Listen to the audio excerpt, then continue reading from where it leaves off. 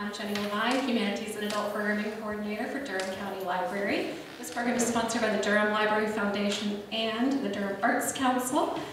Uh, let's see, as always, we have great programs coming up. Please sign up for the mailing list. Um, and we don't have the brochure anymore, but see me afterwards if you want to get on my email list or if you're not getting a weekly email about programs. Restrooms are out this door to your left. And today we have the People's Channel recording this very popular program. And if you want to know when that is available on our website and on YouTube, you can also get an email list from me after the program. And I'll let you guys know when it's ready. And if you enjoyed today's program, I would appreciate you filling out an evaluation form uh, after the show. The show. the program. Feels like a show with this numbers. David Menconi is Raleigh-based writer of creative nonfiction has been selected as the Region's 2019 Piedmont Laureate.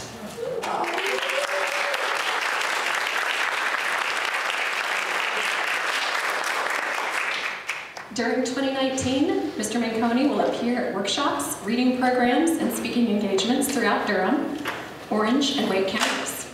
David will also post on the Piedmont Laureate blog throughout the year, Mr. Menconi has been a music critic and arts reporter at the News and Observer in Raleigh since 1991.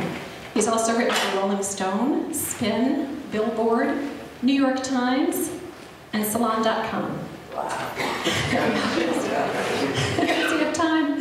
His books include the 2012 biography Ryan Adams, Losering, A Story of Whiskeytown, University of Texas Press, and his next book will be a history of North Carolina music for UNC Press.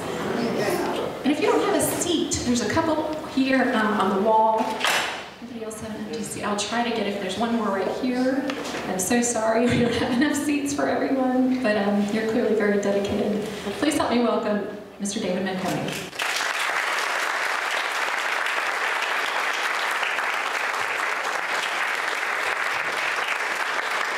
Thank you very much. And uh, yeah, I'd like to bring out the rest of our participants. First, Bill Phillips.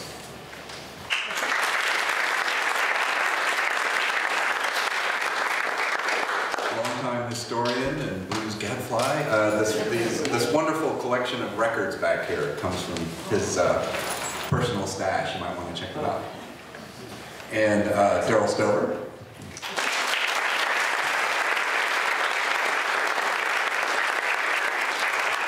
Came prepared with the Bruce Bastin Deep, uh, Red River Blues book, among other things. Uh, he's a poet and scholar of much renown. And uh, finally, Glenn Hinson from UNC.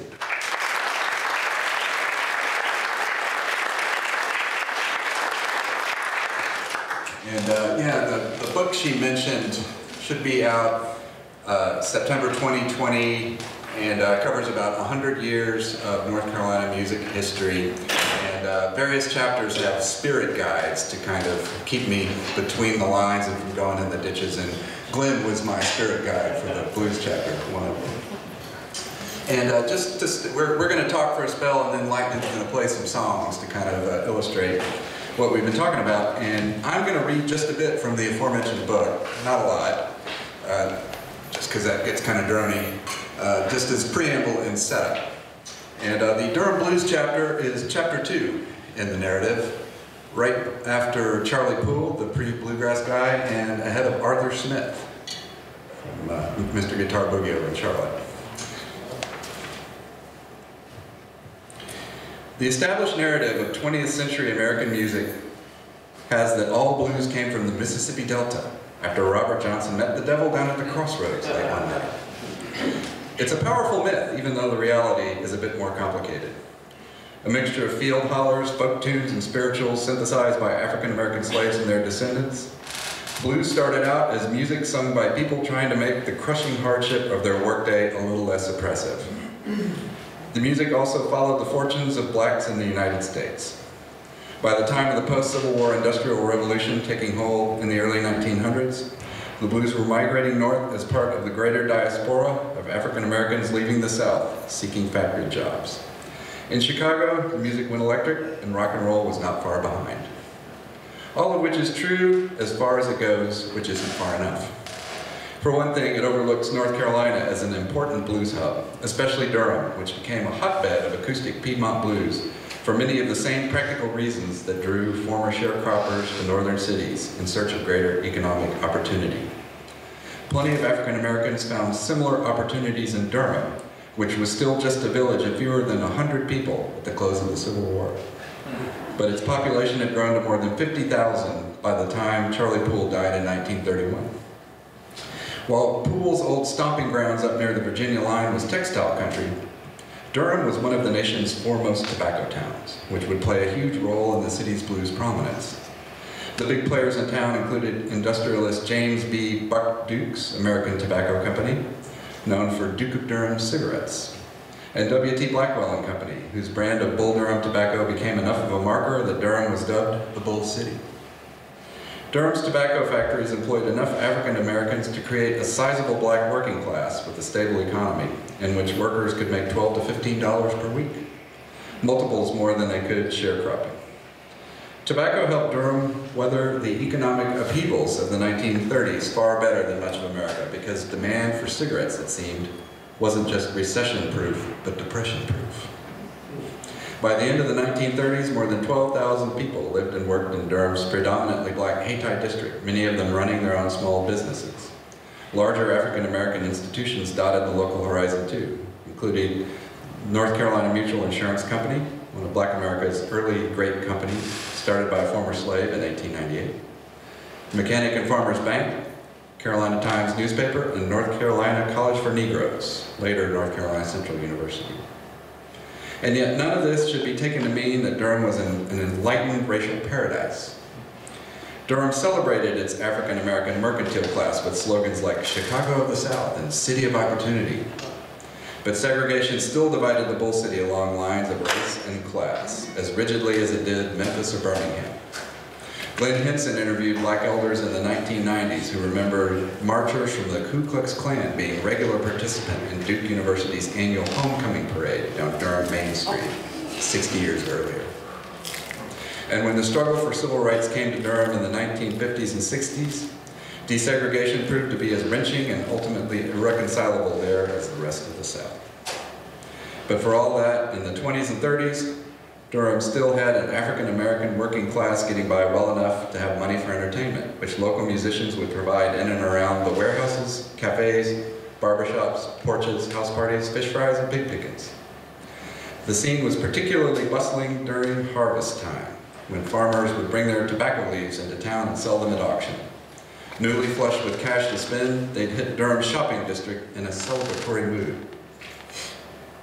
So busking blues musicians would set up shop in and around the warehouses, put out a hat, start to play, and hope to draw a crowd. It worked well enough for Durham's reputation to grow among the songster set. If you called yourself playing the blues, declared Sam Pegleg Jackson, then you had to come to Durham, because that's where the music really was. So that sort of sets the scene.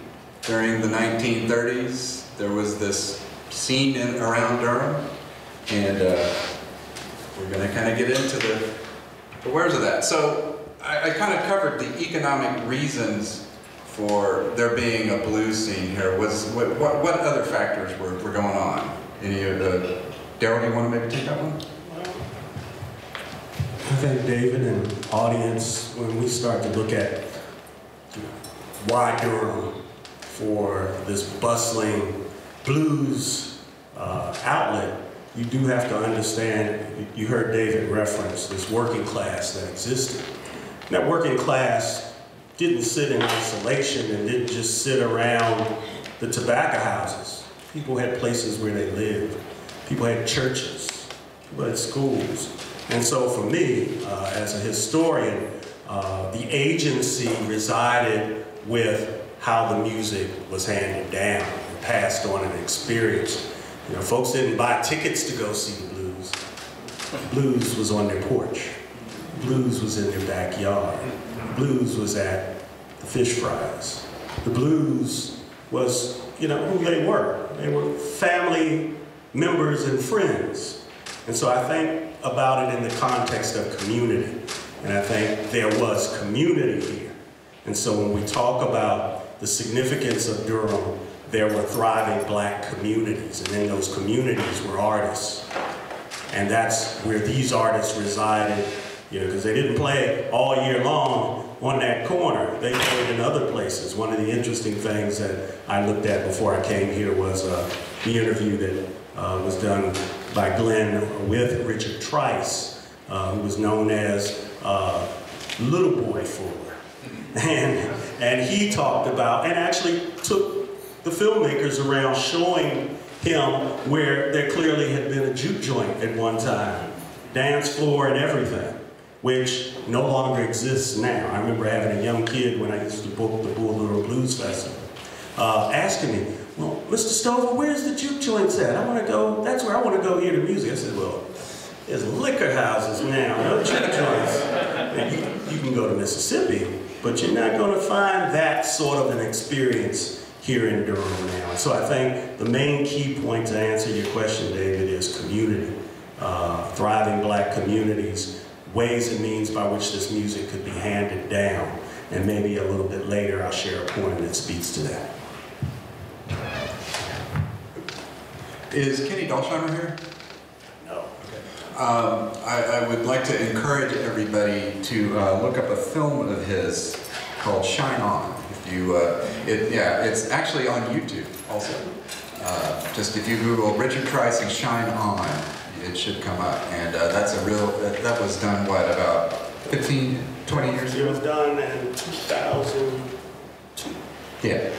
And uh, they took him around looking for places like that, and uh, I think that's a scene in that movie. Glenn and Bill, y'all, y'all knew a lot of these old timers and late in life, did you not? You, Glenn, how, how long have you been here? Since the 30s? I came to Durham in 71 and, and actually began the intensive attempt to try to unfold some of this history back in 74. And at that point, 74 and 75, a lot of these elder musicians, not those that went on to become popular in terms of recording and later becoming part of the folk revival in the 60s and such, but those who stayed here, those who were eminently part, as Darrell said, of communities, a lot of those folks were definitely still around in, at that point, with, filled with stories about the heyday of Durham, when, heyday of Durham's black musical scene, at least blues musical scene, when this music was indeed everywhere.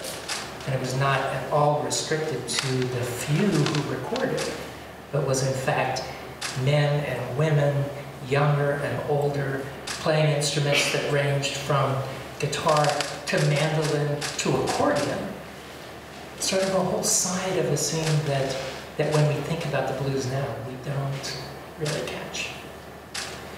Bill?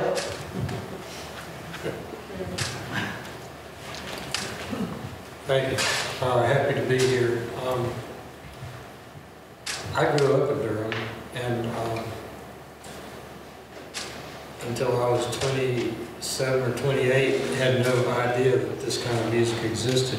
Um, and, and Durham was a very fragmented community.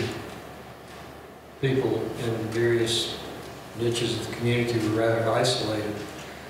And um, particularly in the 1950s and 60s. Um, so it was, I I got interested in folk music and it was, it was thrilling to find out that all this music had been in Durham at one point. Um, started out being interested in bluegrass and folk music and then got interested in the blues and learned about um, a fellow named Willie Trice who was uh, the brother of Richard Trice. Um, I can't wait to see that video. I'm sorry I didn't see it before I came. Um, Willie at that time had uh, started playing his guitar again after about 30 years of not playing it. And uh, a fellow named Pete Lowry came down from the north and found the guitar under Willie's bed and had it restored in Boston and brought it back to him. So he started practicing, and then we discovered he had known all the blues players in Durham in the 1940s and the 1930s. Uh, Blind Boy Fuller, uh, Gary Davis, um, McGhee, and Sonny Terry. And at that time, um, I was a social worker in Durham County Social Services. Uh, being interested in the blues, it just occurred to me one day that uh, Gary Davis and Blind Boy Fuller might have case records um, in the old files. And uh, so I went into the file room, which was pretty ancient, though they were in a new building, and um, discovered that the case records for the blind were really the most prestigious records there, and, and the best social workers were assigned to those cases. Um, and they dictated every visit that they had um, with their clients. So I started looking through it, and um, Blind Boy Fuller's case was under Fulton Allen, and then Gary Davis was under Gary Davis, and they, the folders were like two inches thick. And um, I looked through them, and at that time, you know, concerns over privacy were not as great as they are today. I, I doubt I could have ever taken those cases out, uh, but I asked the, um, the director of social services if we could, uh, if I could take these out and make copies of them, and um, he said if you get permission from the family, then uh, you can. So, uh, Blind Boy Fuller, Fulton Allen's wife, Cora Allen, was still living in Durham. And as I recall, I got some sort of very casual verbal approval from her to copy the records. Um, Gary Davis had died in New York a couple of years earlier. I had no way to get in touch with his wife, that I think was still living for a while after that. So basically, I just copied the records. And uh, took the copies home and read them, and and they were fascinating. Uh, Really, um, quite a cordial relationship between the caseworkers and the clients. Um, Though the idea was that uh, if you made money in any manner, then you were not eligible for the the twenty-five dollars a month or something like that payments. So there was constant questioning about whether they were making money. And this questioning was after um, uh, Blind Boy Fuller had been to New York at least twice and recorded. And um, Gary Davis had been once, and they also would play on the street. And if you if you hear any of their um, songs, it must have been a phenomenal sound on the street.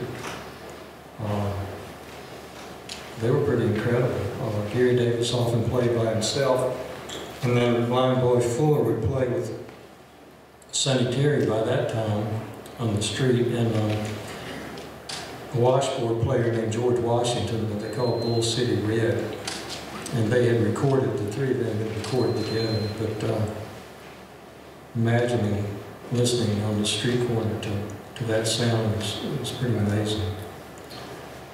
Uh, and clearly they were filling up the hat with coins. Uh, and but when the social worker came, you know, wanted to deny that they had got any money, uh, understandably so. Um, so there was this little banter back and forth, and the uh, the social workers, I think, were, were pretty sympathetic and impressed a time or two they heard the music, realized that they were dealing with fairly special people here.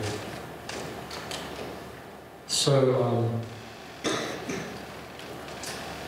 those case records are now all over the internet. Um, and I, I suspect today that would not be possible. It's, it's out of my hands. but, but there's nothing there that I think any Gary Davis or, or Blind Boy Fuller would not want to, to have out there because they they come through looking looking great. But there and there's stories about their illnesses and their um, being taken to the doctor, I discovered uh, blind boy Fuller and I had the same eye doctor. Um, Though about, a, you know, 20-year gap between. Um,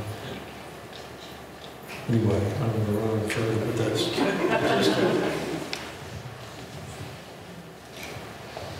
Do those original records still exist? Do you know? Uh, yes. The, the original records, I'm assuming being the 78s. um, Oh, no, no, I mean. Oh, Disability records. the disability records. Um, I do not have copies. I basically gave my copies, and I'm, I'm sorry I gave them away at this point too. Um, and I don't know if Scott Ainslie still has them, but I believe I gave them to him. Uh, but Bruce Bastin in England, I believe has copies. And there's another, uh, blues writer on the internet that I discovered last week that has a significant part of it, if not the full copies. But the originals, the social services still has those files. The, the originals are down there. And I don't know why I could never found a file for Terry. But he was a, one of the clients as well. I can think of any number of institutions around here that would like to have those at this new date, but I, I hope they are still there. Um, and, and sort of the big four, the, the Mount Rushmore of Durham blues back then was Blind Boy Fuller, Gary Davis, and Sonny and Brownie. And um, we know about them in large part because of records. They, all the four of them not Gary Davis so much, but the other three left behind more of a discography than most bluesmen at that bluesmen at that time. And uh, that was in large part because of J.B. Long. And we have a picture of him, do we not? I could just quickly go here. Um, J.B. Long might be the most unusual record mogul ever. He uh, ran the dollar store on Club Boulevard. That's him with his daughter Actually, Dollar Store was on Main Street. on Main Street. Main Street, right at Five Points. The United Dollar Store was in the place that is now the empty lot in front of Ninth Street Bakery. Oh, So prominently placed. He lived on Club. Ah, that probably explains the confusion. I've, I've seen That's Club. Has it wrong. Bruce Bastin has it wrong. Yes. Wow. that is good to know ahead of publication. Don't want to be putting any fake news. So uh, J.B. Long, his story kind of begins in Durham, where, and not in Durham, in Kinston rather, where he ran the dollar store, and uh, he used to play records. And it, he discovered it would keep people in his store longer if he played music. After a time, people started asking to buy the records. So uh, he turned into kind of a proto record store clerk. Uh, people would come in asking for records, and he could uh, figure out what they were wanting based on them humming a few bars. Sort of and this was back in the uh, 19, early 1930s. And disaster songs were kind of the CNN of the time. People would do these uh, stories, uh, story songs like the wreck of the old 97. And uh, you know that's that's how lore got handed around about disasters. Well, people started coming in asking him about any records pertaining to the Lumberton wreck. And it was a grisly accident, apparently between a train and a truckload full of farmers. And he called up his record supplier and said, you know, hey, you got anything about the Lumberton wreck? And they said, no, but why don't you make that? So, uh, being an enterprising sort, J.B. Long hired a newspaper writer down there to co-write a song, and they co-wrote a very grisly tune called Lumberton And then he had a talent contest to figure out who was going to record it. This being the 1930s, there was one white and one black. The African American group that won was Mitchell's Christian Singers, who went on to a very notable gospel career, the old style a cappella Jubilee Gospel Quartet. Uh, they were on the Spirituals to Swing concert that uh, John Hammond put together at Carnegie Hall in 1938. And uh, the uh, Colley family won the White contest, and they recorded Lumberton Wreck, and you can you can find this. It's on YouTube if you've never heard it. They've got a keening fiddle riff Im- imitating the uh, train whistle, and it's quite a period piece. But this got J.B. Long into the record business. A few years later, he winds up in Durham running the dollar store on Main Street. Thank you. And uh, he arrives in Durham basically at the heyday of Blind Boy Fuller.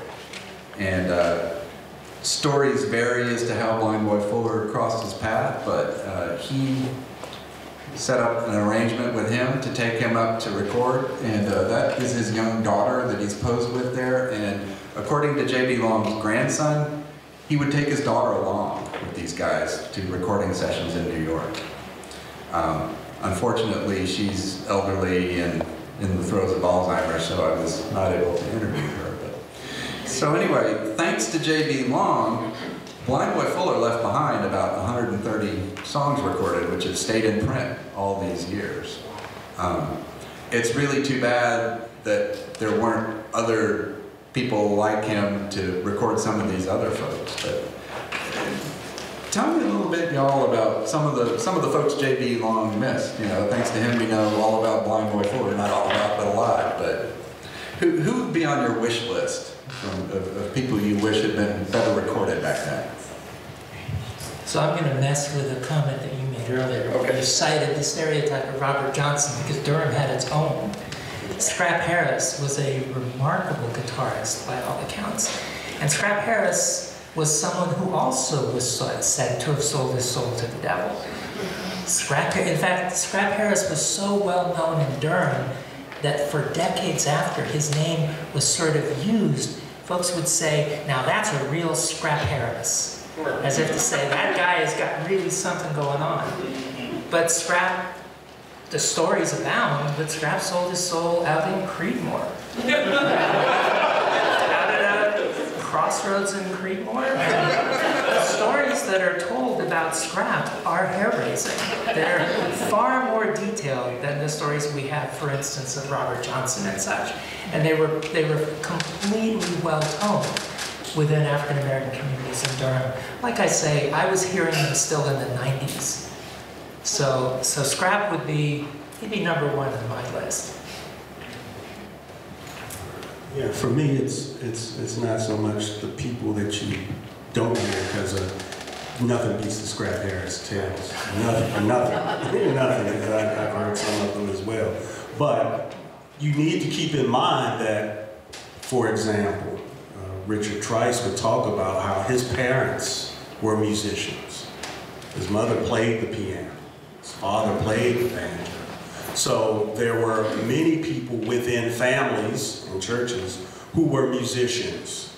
And so this musicality that existed in black communities goes undocumented in its uh, complete context uh, when we look at, yes, uh, the significance of the uh, Mount Rushmore, uh, of, of recorded Durham blues musicians.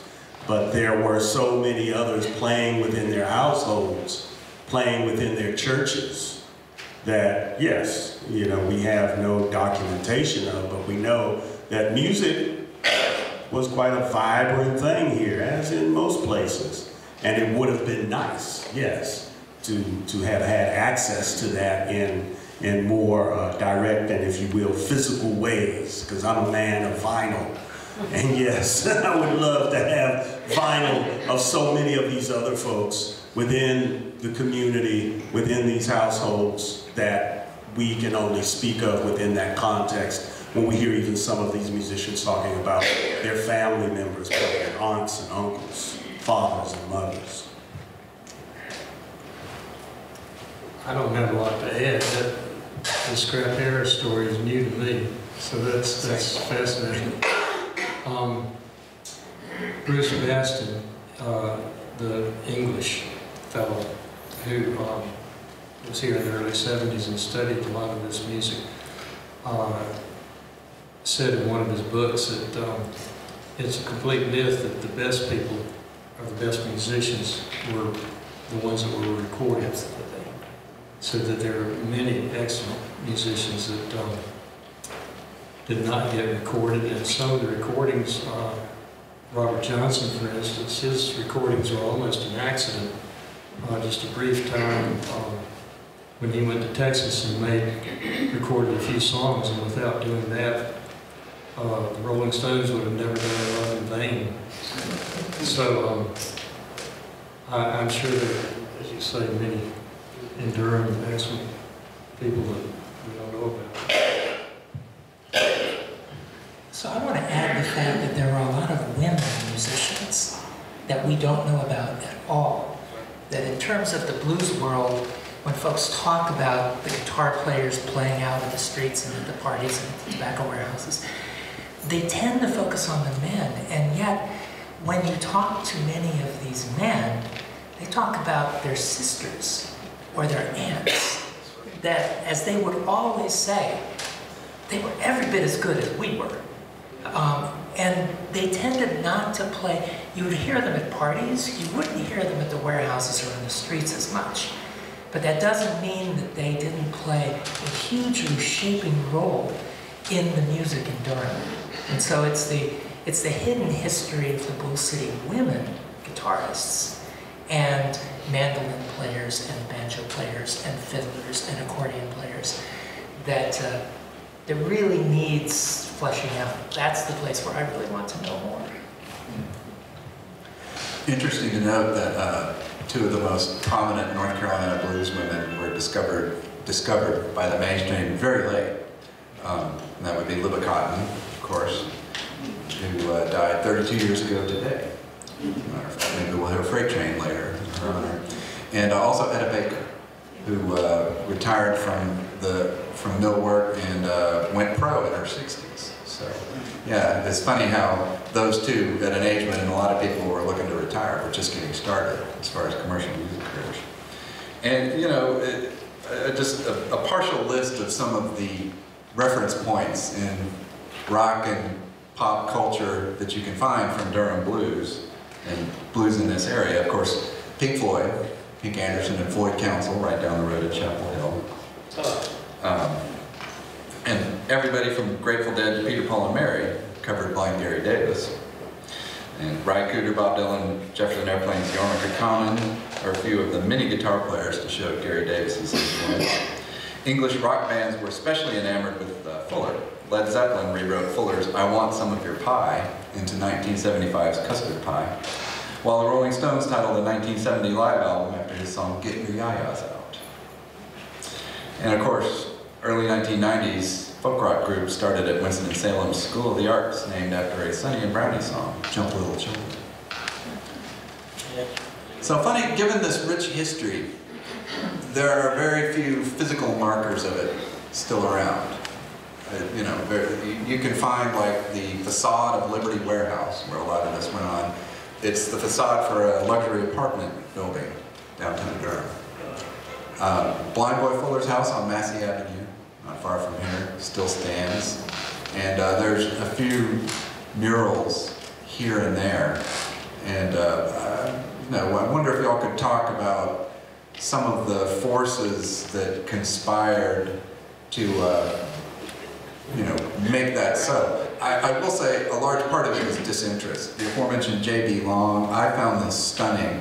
He went on to a career in politics after his recording days were done, and when he died in 1975, his obit in the Burlington paper where he lived after Durham made no mention whatsoever of any of the records he made. You know, this is a guy who, you know, was partly responsible for some of the greatest records in the blues canon and nothing, not a word. I was shocked. There.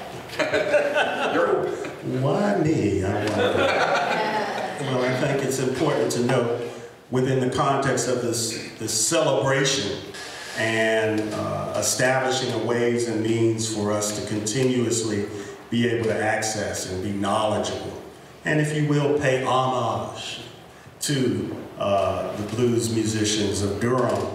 Uh, at a time when I was working at the Hayti Heritage Center, there was discussions about And as the newspaper article states, five strangers got together to establish a historic marker on the American Tobacco Trail.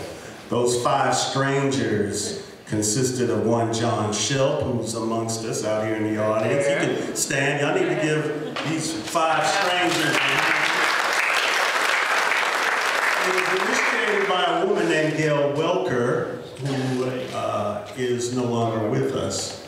Uh, Jim Walton and Glenn Hinson And and yeah, me, Stover. And actually, you can go online and see uh, the actual dedication of that mark on the trail. It sits right off. You're going down Fayetteville Street from downtown, right after you, right, the, the trail crosses Fayetteville Street. And just to the east of Fayetteville Street is where that brick marker sits. Why? Because that is where, in close proximity, Blind Boy Fuller is buried. Now, I wrote a poem to celebrate it, and I think it's probably important I, I share that now because it speaks to this whole notion of the interconnectedness of these, these artists. They sort of, yeah, they knew each other, they played with each other, they inspired each other, and so in that regard, I think it's important to note because for me, it's about understanding how this music uh, builds upon itself because individuals um, teach, serve as mentor, guide, and the younger musicians are in essence apprenticed. So this poem takes its name from what is one of my most favorite of the Durham Blues uh, pieces, uh, which is by Blind Fuller. It's entitled The Poem, Step It Up and Gone On, but it takes its name from Step It Up and Go. Um, certainly my other important blues piece is the one that Richard Trice recorded, which is Blood Red River Blues. But I, I'm going to need you guys to say this in order for me to move through this poem. So when I prompt you, I want you to say, hey Ty, hey Ty, hand it down, hand it down. Hey Ty, hey Ty, hand it down. Give it a test run. Hey Ty, hey Ty, hand it down, hand it down. Hey Ty, hey Ty, hand it down. Y'all good, we can go on too. hey Ty, hey Ty, hand it down, hand it down. Hey Ty, hey Ty, hand it down. Reverend Gary Davis told this man to tell Brownie McGhee to hook up with Sonny Terry, because there's some dancing to be done, some bacca to be sold, some stories to be told by a string stringing, get picking, blind, bad Durham dude, Wadesboro boy. Hey, hey,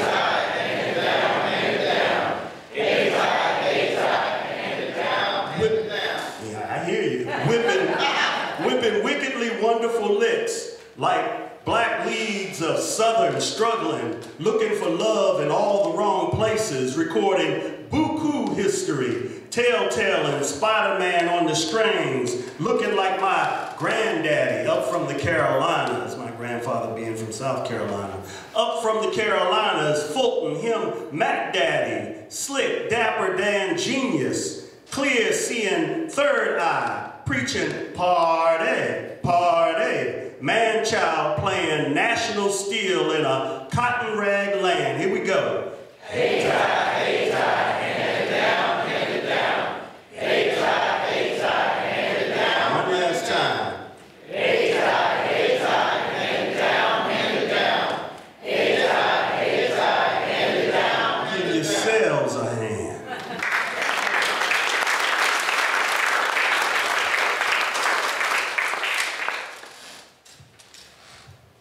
So I- I'd be curious to know from everyone, uh, you know, that, that spirit of the music.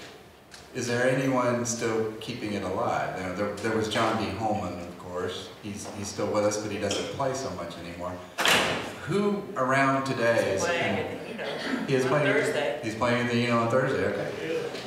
I had been told by I've been told by Tim that he wasn't playing out anymore, but I'm delighted to hear that He's on the, on the schedule. that's fantastic. Played with Phil Wiggins earlier this year. you know. Well, all right, all right. More fake news, sorry. I'm, I'm glad to be proven wrong there. But uh, who else might be kind of keeping it going out there? Anybody got any thoughts? Well, if we're talking about here in Durham, that may be a difficulty. I just had a talk with my son because he's done picked up the guitar, being a quite, quite, quite proficient percussionist in Afro-Cuban, West African djembe, and trap set jazz drum. But he's taking up the guitar, and I was saying, "Yeah, man, I'm going to do this program and all." He said, "Yeah, I'm looking at Robert Johnson." I said, "No." You need to look at the Durham dudes. So you need to look at Reverend Gary Davis. The album's downstairs on the turntable right now. So we'll see what happens. Give it a few years. But that that that's that's you know what my hope is. I can't put too much pressure on it. Now, if we look beyond that, you know, one of my closest friends and associates has become uh, Eric Bibb, who actually is um, the godson of Paul Robeson. And he tours nationally. I had the opportunity to bring him here twice to Durham for the Bull Durham Blues Festival. But in his playlist, he is consistently uh, uh, playing and recording uh, Reverend Gary Davis. Um, 12 Gates to the City uh, certainly is one of those pieces. It's, it's always there. Me growing up, I first heard Samson and Delilah, and that's Reverend Gary Davis's recording in my own household. But I also heard the version in my own household because my father had both albums and valued them both was Peter, Paul, and Mary's uh, version of that song. But Taj Mahal certainly was influenced and still records and interacts with music makers. And I think it's probably important that music makers be referenced here in regards to the support that they bring and how some of these artists still come to us. But I think for me is Eric Bibb is one of those majors who's doing it. So I would say for all of you, do yourselves a favor and, and, and check that out. John Cephas and Phil Wiggins were a tandem that come out of that tradition of Sonny, Terry, and Brownie McGhee. John Cephas, guitarist, vocalist, songwriter, is no longer with us, but Phil Wiggins, uh, mouth harpist, harmonica player, is still touring and performing and pairing up with other younger musicians. The Piedmont style is what I, I think we're clearly talking about here. And that, that tradition has, has rich players and younger individuals who are still keeping it alive. It would be nice to see someone right out of Durham do that. And there might be somebody we just haven't heard of yet. In somebody's household, at somebody's fish fry. So keep your ears wide open. So I'm going to weigh in with a different kind of answer. Okay? When I think about what the blues did in Durham in the 1930s, the blues emerged as a music of affirmation. It was affirmation of blackness. It was affirmation in the midst of stark segregation. It was affirmation in the midst of crippling Jim Crow. That in the worlds of those factories where there was work, there was also systemic structural racism that was endemic. This was what the Bull City was known for in part. Anyone who lived here at the time.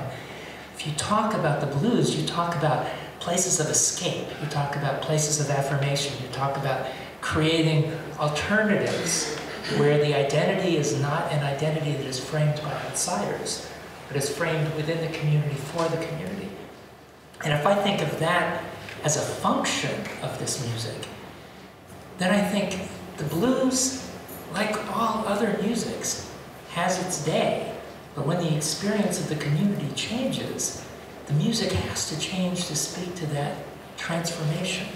And so as the experience of Black Durham changed, the blues in Black Durham began to disappear because it was being replaced by other musics that were every bit as vital, that were every bit as powerful, that were every bit as affirmative, and that in every way spoke to the new conditions of African American life in the Bull City. So if you were to say now, who are the heirs to the blues that were played in the Bull City in the 1920s and 30s and early 40s, I would say you don't have to look far. Just look at what's going on in Durham's hip hop scene, where you have that same vitality, the same themes, the same affirmation, and the same youth. You know, when we're talking about these Durham blues musicians, we're talking about people who were in their teens and early 20s for the most part at that point in time. We're not talking about elders. We're talking about kids who are creating music and making life out of it. And if I say now, who are those kids? The incredibly vibrant hip hop and spoken word, I would say, scene in Durham, in Black Durham. To me, those are the heirs. It's changed, but the function, purpose, and power are very much there.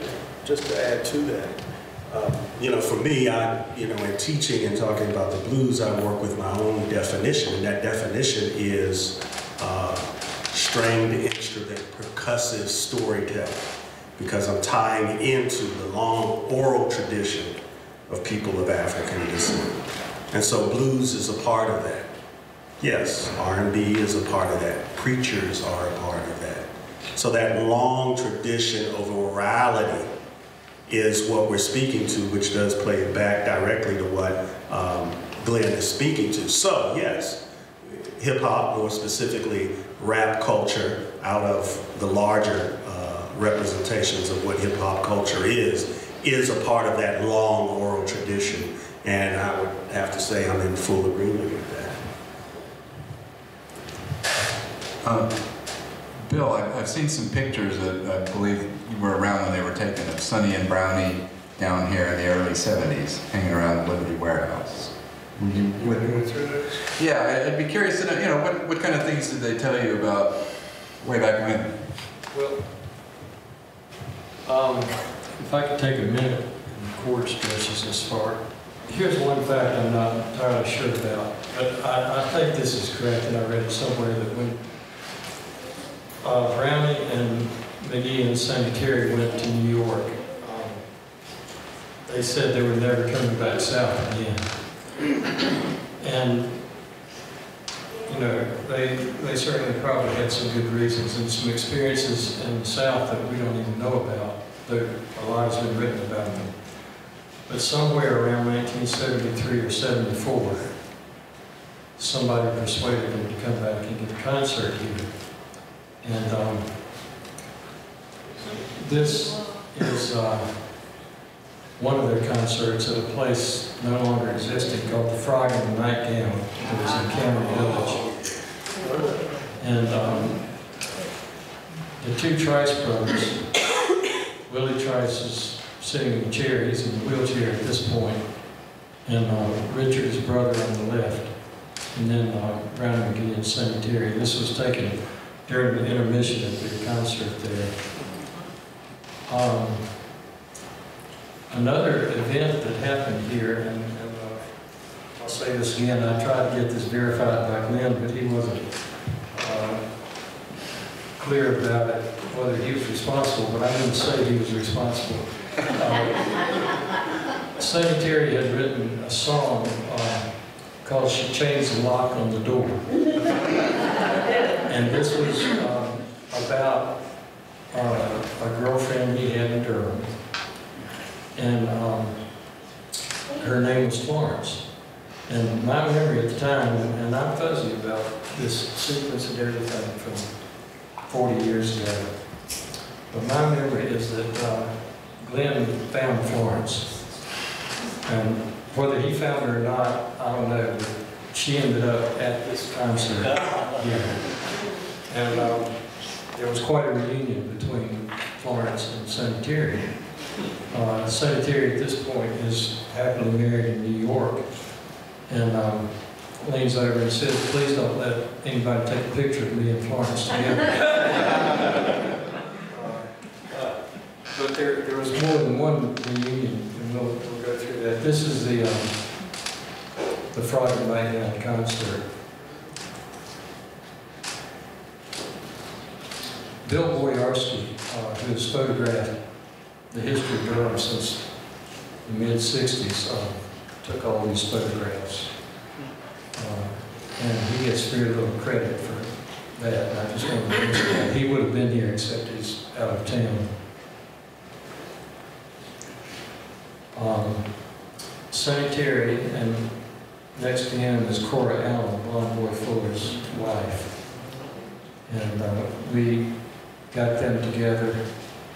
Sonny had lived in the home with Boy Fuller and Corey Allen, Cora Allen.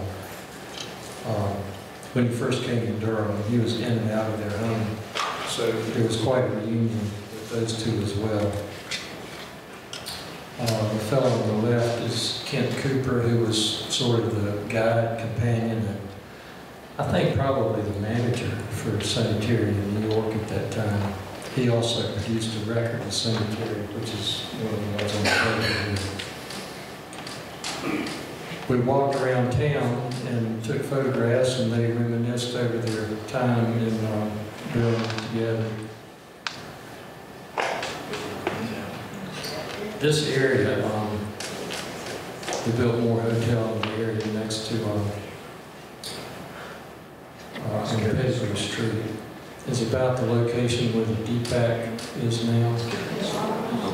Uh, And then Sonny wanted to go down to the warehouses where he had plays. And these are some of the same warehouses that were still standing at that time where he had played during the tobacco market.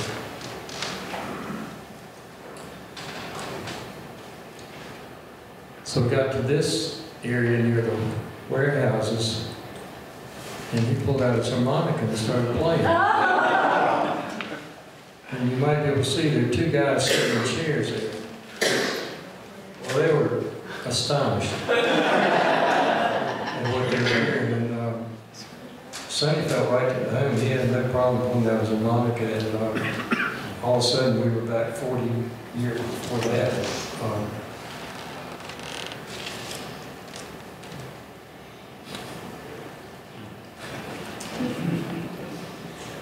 Anyway, it was a great little tour around Durham. And then, I'm not sure which was first, the Chapel Hill concert or the Frog and Nightgown concert, but they played in Memorial Hall at Chapel Hill. I was there. Hmm? I was there. That was quite a night. It was, they, they kind of, they didn't get along well. They took it to the stage that time. They kind of were ugly to each other, except they said, there's a lady in the audience. We'd like her to stand up. It was Cora Fuller. Lionel Fuller's her. They sang, My Little Woman's So Sweet for her. That was like one nice moment at night. Um, That's another unclarified situation. They mentioned that they were not getting along. Uh, My memory from Kent Cooper, the fellow that brought um, Sonny Terry back to Durham in in, uh, 1974, was that Sonny Terry and Brownie McGhee had not gotten along for a while. And I'm not sure if Brownie McGhee had moved to Oakland, California by this time or not. But they, um, they would not travel together. They came separately. And, uh, then you may recall, we went to the motel where Sonny was, uh, where, where Brownie McGhee was staying, and he had come completely independently of, um, Sonny Terry, and, uh, sat down and had a nice conversation with him. Somewhere about, another, uh, part of it is they may have not been, they've been together so long and known each other so well. uh, That, that, you know, Yeah, that- friendships can kind of wear out after a while. They were, but they were, uh, the, when I'm Jeff, that's, yeah, we had, but that was my brother that brought to the Frog Night, Jonathan. And we had that, that was in their contract at that time, Sunday Gravity. That was the first time they'd been back to North Carolina since forever. Right. And they did not speak, they came in from opposite sides of the stage.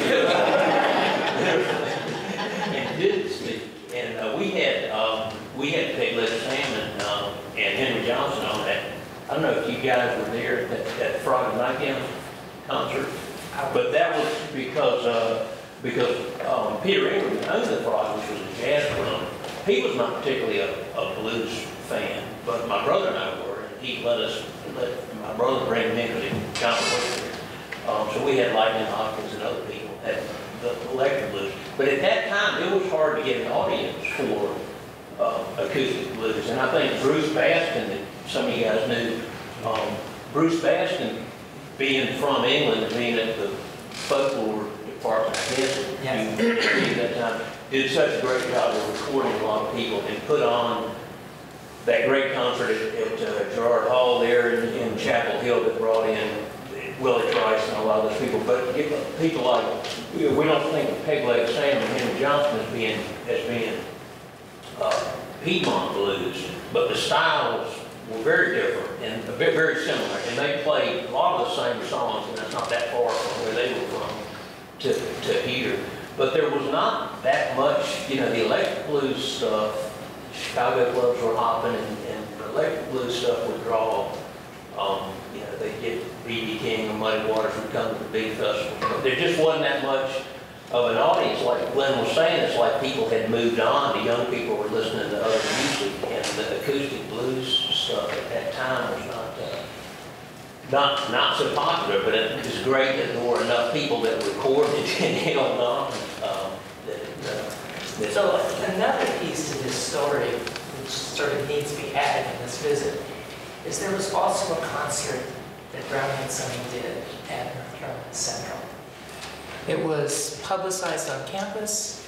There were eight people in the audience.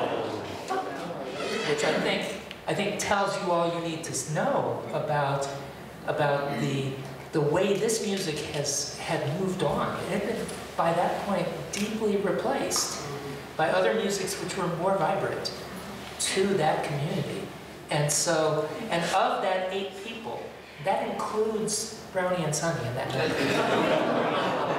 So you have a sense of, of what that huge auditorium look like. Yeah, I think it's important. I think it's important to note because of, you know, I hear the alls. Interesting. Um, you do need to take to heart what Glenn is saying. The music moves on. You have to think about how is this music valued in those times for younger people. You were not hearing it on the radio. You were not seeing it in your backyard. You were not seeing it written up in the newspapers. So it did not exist and have a connection. What was then and hot then, we're talking about 70s, 80s. Seventies. Yeah, you're talking about R&B, Exactly. you're talking about funk, you're talking about me growing up. Now, my father would take us to blues concerts, so I value it and, and enriched by it to, to take it to heart as a historian. But I think it's important to note that that argument about why did the music die has everything to do with changing times, changing life experiences, changing valuation, changing cultural appreciation and engagement, and it is what happens. Uh, it's not a sad thing. It would be nice if blues could go on forever. But, you know, we jumped into a period of disco and, and funk died for a minute. So I think how I felt. But, but I think in the long run, the reality is what it is. And we need to understand and take a lesson from the history and realities of culture as time moves on and what, what that means when we have shifts and changes that, yeah, result in that sort of an experience. It's not a sad and horrible thing. It's the reality of what happens with us, with humanity, as we move through life and politics and cultural uh, appreciation changes. This is very informative, I learned a lot. Um, It's always great to hear, hear what y'all got to say, things I didn't remember. Um, I'll just finish with the Chapel Hill concert. There was one particular thing that happened, and and since at least two of you mentioned it, you also said that these, Brandon and me and Sonny Terry did not get along that well. They did not sing together. They sang, one would sing one step, and one would sing another. Well, halfway through this Chapel Hill concert, they started singing together. And um, Kent Cooper, the fellow that brought uh, Sonny Terry from New York, said he'd never heard them sing together before. So, so something happened in that concert. It was bringing Cora Allen back or something, uh, or they were welcome that they got here.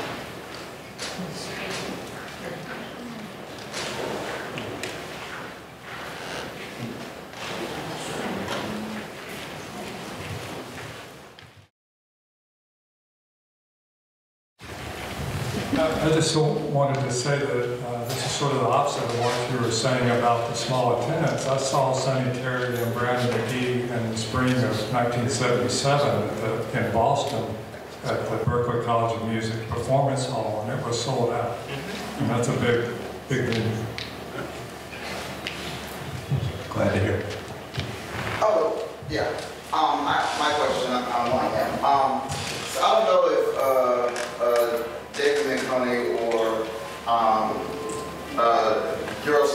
getting your name right? Yes. Um, if you can answer this question, but we know that Durham had a very, a history of like a black bourgeois middle class, like the, what we call Parrish Street gang, people like, um, C.C. Spalding and, um, James E. Shepard, like the founders of, um, NC Mutual or North Carolina Central University.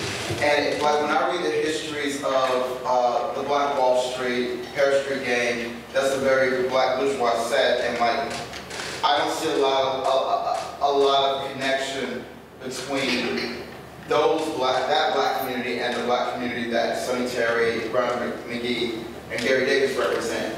And so how did, I guess my question is like, why is the, why isn't the history of Durham blues documented in other black histories of Durham that didn't focus on capitalism, banking, education? Um, I think I answered my own question, but I don't know. There's a question in there somewhere. I would say, I would say this. Yes, you, you answered your own question within the context of the histories that are published. What is their focus? Are those cultural histories? No. Those histories are economic. Those histories are definitely celebrating and investigating the entrepreneurial uh, uh, uh, successes of the black community. Yeah. And so there is a distinction that has to be made there relative to what. Is there a very rich uh, cultural history of Durham that has truly been done in a way that, that values this aspect of that history plus all the rest? No. So that might be an opportunity for yourself. I'm not going to take on the pressures. but what I will say is that that cultural history has yet to be written in full context. There's a, um, a wonderful book that I, that I just recently got, um, which looks at DC's jazz history. Gotcha. Uh, and so when you talk about, well, there is uh, Durham's Hayti. Uh, Andre Vann has done the photographic uh, renderings of history as uh, given to us graphically. Those give us an idea, and it might have some visual representation, but a sort of written history that analyzes the significance of uh, this culture is, is not fully available to us. Yeah, Bastin gives us some of it, and there are a few other places, and yeah, if you search online, you find it. But a very complete cultural history of Durham has yet to be written, and it sounds like that's what you're, that's what you really want to see. The, the, the distinctions between class and where were they on this, you have to remember, those folks that started those businesses, that was in the early 1900s. Right. These guys are doing this in the 20s, 30s, 40s. So there is a, a time distinction there as well. But you can make class distinctions, if you will, in some regards, but I leave that investigation up to someone else. I got you. So I'm gonna add a little bit to that, Okay. to just point out that there was a thriving jazz community in Durham at the same time. Yes. That the, uh, the hippest group in Durham was called the Bull City Nighthawks.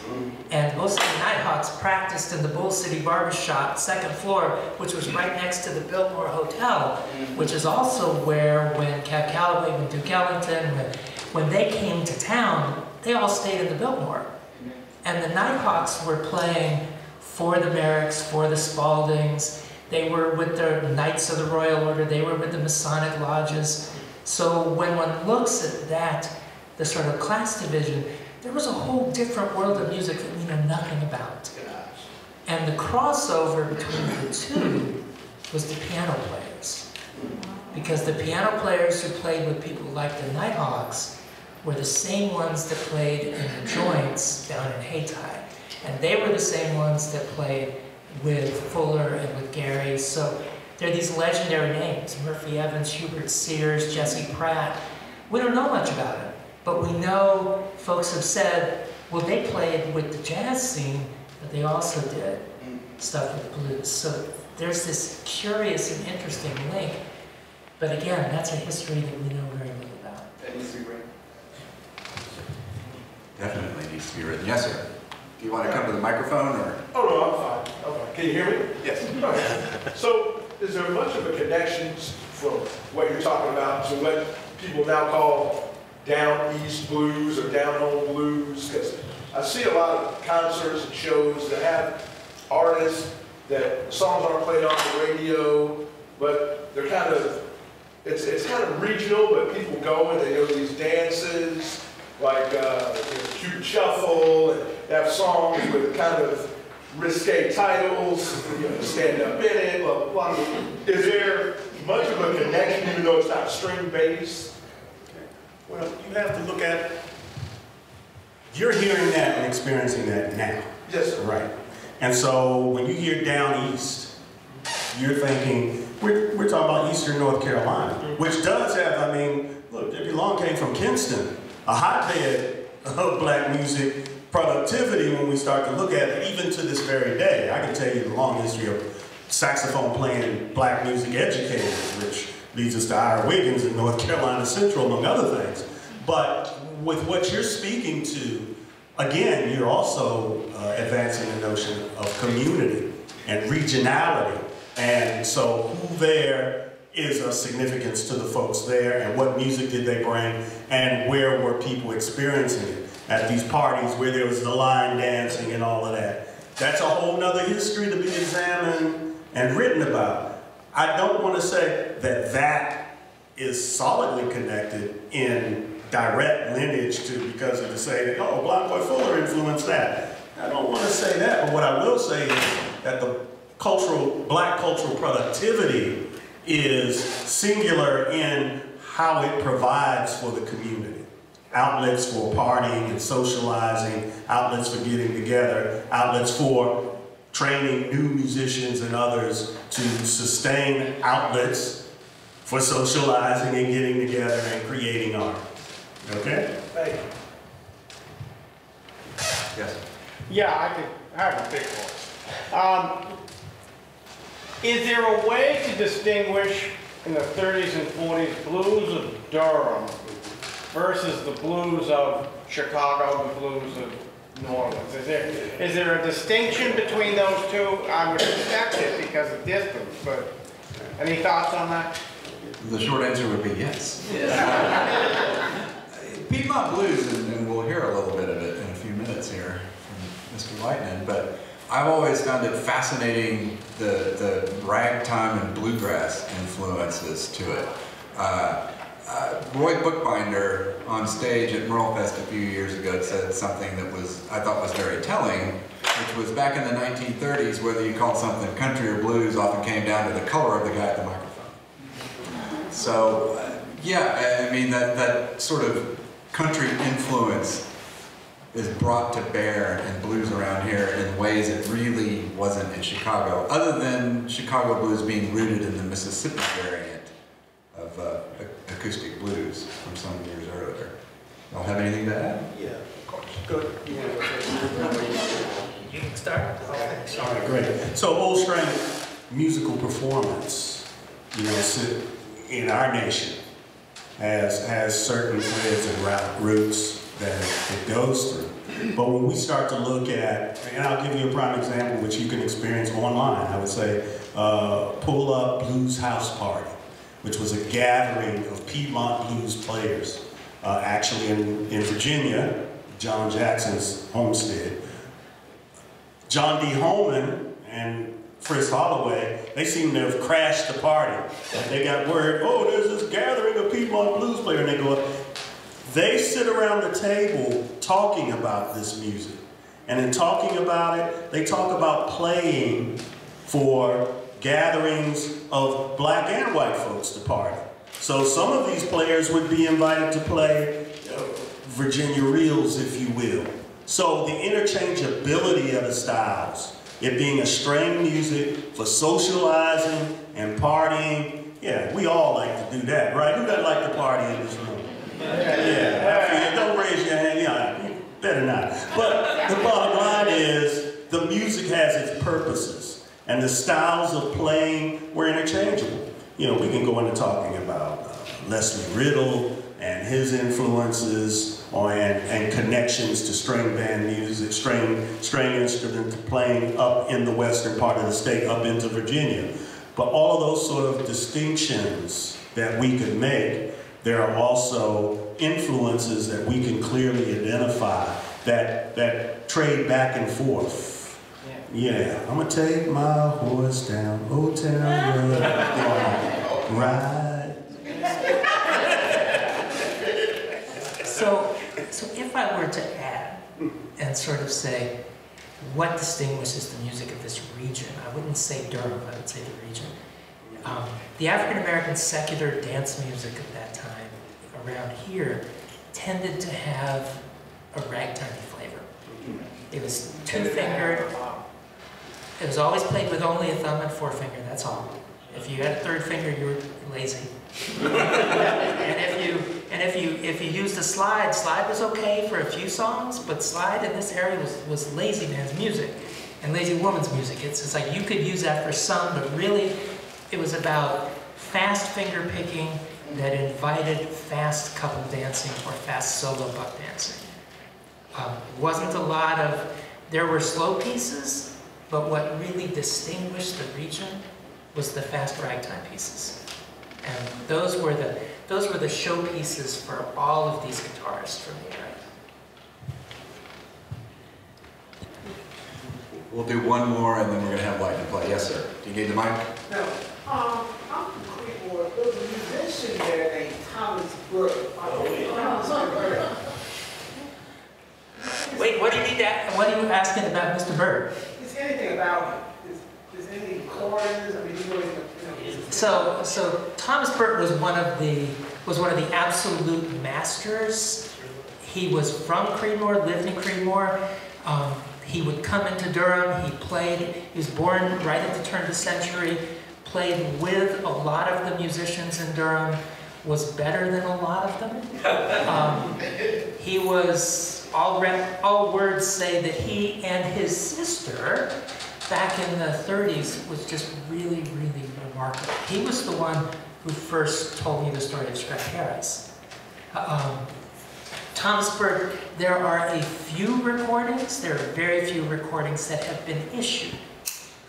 There are many recordings of Thomas Burt um, that have not been issued. They will be. Uh, but if you want to hear a rather remarkable one, there was an album that, an LP album that the state of North Carolina issued called Eight Hand Sets and Holy Steps, which was a survey of sacred and secular music. And on the, on the sacred side, there is just a beautiful piece that Mr. Burt plays. And that's, I know the album as LP is actually still available um, through the North Carolina Folk Life Institute on vinyl. It's never been converted to CD yet. That, that will happen. So there's not a lot out there written about Mr. Burt. Um, there are some recordings though. Very good. Well, uh, Mr. Lightning, I believe it's showtime. Well, thank you all for turning up. Uh, This makes me real happy. We did a uh, state marker for Eliz- Elizabeth Cotten over in uh, Carrboro a few years ago, and uh, I was surprised at how few people showed up for that, maybe 15 or so. This is real pleasing here. Thank you all for coming. I've been playing now about 50 years. Hard for me to believe. I started when I was young. I didn't have anybody show me. I learned from recordings and stuff. And I got into finger picking things when I was still in high school. So I attended the University of Chapel Hill in the early 70s. And uh, I thought I knew a bit about the blues, and I was allowed to take the uh, graduate folklore classes with Daniel Patterson as an undergraduate. There's this older uh, British fella in my class. He was 30 years old. He's Bruce Bastin, and he knew everything about blues. I thought I knew something. and It intimidated me a little bit. so he was bringing all these really cool Piedmont blues people to Chapel Hill when I was a young undergraduate. It kind of changed my young life. I thought, wow, this is it. These people live here. This, this stuff everybody's going to all over the world. And it ends up, uh, it wasn't really like that. It was just a, a short window of time that I happened to be lucky enough to be at. Most of the died within years after I saw Willie Trice, Peg Leg Sam, Guitar Shorty. Years later, I got to to work with the live blues people. My first guy I worked with was Big Boy Henry. Met him in 1983 from over in Beaufort, North Carolina. I worked with him many years. I worked with Algia Mae Hinton. Glenn Hinson don't start out playing over in Johnston County. We were friends. Made friends her whole life. She's passed away last year with uh, George Higgs from over near me in Tarboro. I'm a more historical type player. I'm going to do a Blind Boy Fuller song. Uh, he did some raunchy pieces, I have to admit. And so his titles, What's That Smells Like Fish, I Want Some of Your Pie.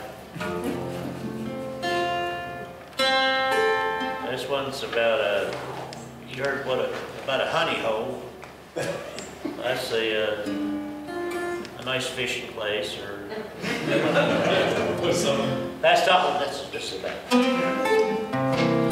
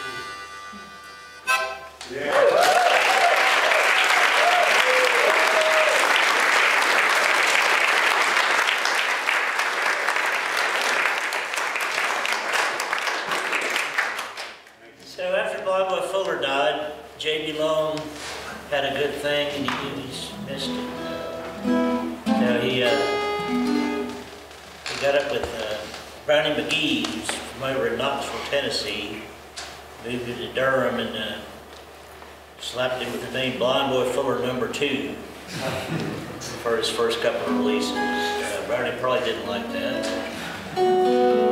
And his first release was this song, uh, uh, Blind Boy Fuller Number Two called Me and My Dog Blues. And the flip side was a Blind Boy Fuller song.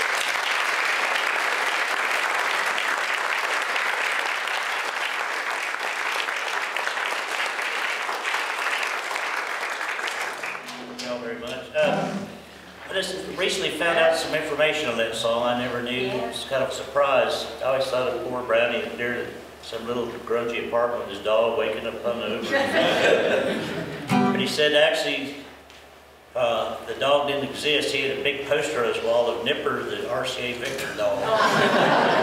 so the dog in the song's next to is from the poster. so the closest to a, uh, a, a Boulder Piedmont blues hit would have to be Step It Up and Go, Blind Boy Fuller, recorded in 40, 41, was it? Uh, 39. No, 40, 40 at least. So it, uh, it got taken up by, it's kind of like pre-rockabilly or something in a way. You know? It was widely influential. Bluegrass people did it. Uh, Rose Maddox uh, did a Western version of it. Uh, every Piedmont blues player I've ever played with plays some version of it, and everybody does it different. So,